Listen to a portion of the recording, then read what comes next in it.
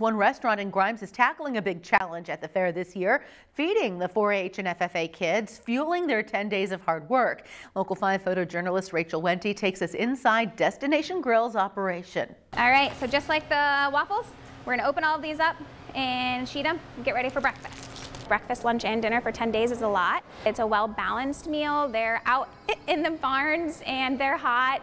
We want to make sure that it was a nutritional meal, but something that they would like. So it's nice creating those, you know, familiarities. a lot of our high school kids and staff at the restaurant, you know, volunteered to come and help us. So Jamie will actually start with the bacon in here first, and we'll cook it down teaching them different skills here that we can take back to the restaurant.